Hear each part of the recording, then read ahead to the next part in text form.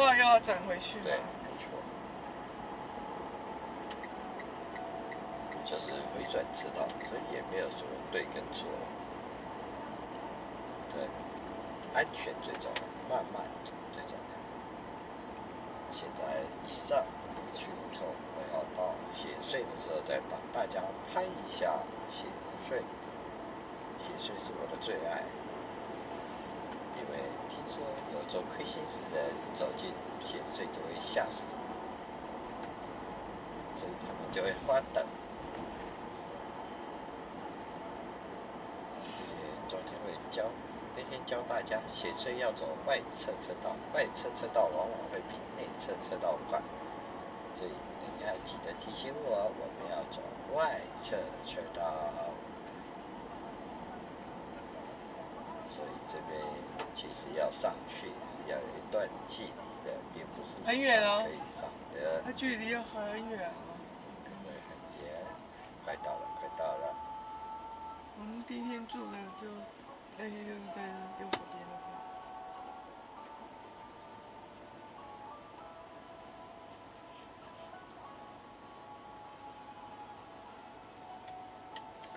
最好拍的片子，其实就是在公路上拍公路，因为公拍公路的好处就是你啥事公路没什么好拍呀，大家都走过了，有什么好啊，拍？是因为拍公路啊，啥事都不用做，就只要回去剪剪贴贴这样就好。那如果要去一个景点，其实要拍给你看，那真的是比较辛苦一点。所以有时候拍公路有拍公路好玩的地方，但是其实如果你问我，所以，其实拍开车对一个像我这种制片的人来拍片的人来讲，我是比较喜欢的，因为我真的是比较没压力，因为反正镜头调好就让它跑嘛，你只要记忆体够大，it's OK，都不会有太大的问题。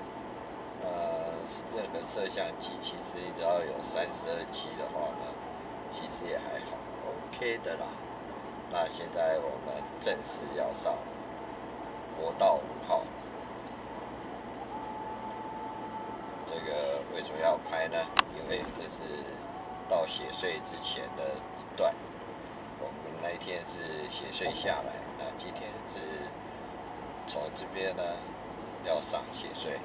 那我这个拍摄原则上是拍到国道五号转三号的时候终止，我们就让它全程拍摄吧。等一下走内侧哦。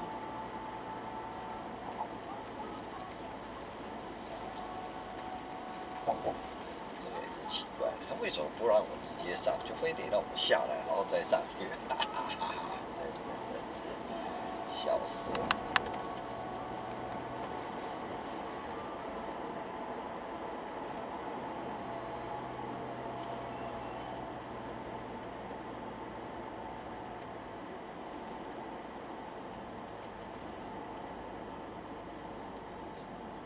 你刚才有注意看到的警告标志吗？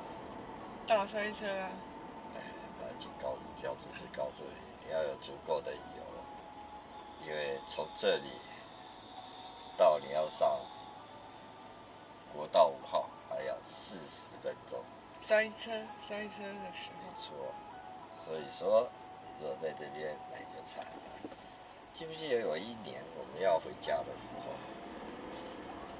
要他有高承载，结果他说十分十分的紧张，就是时他的间时间快到了对不对？对，这时候我就觉得，如果用塞的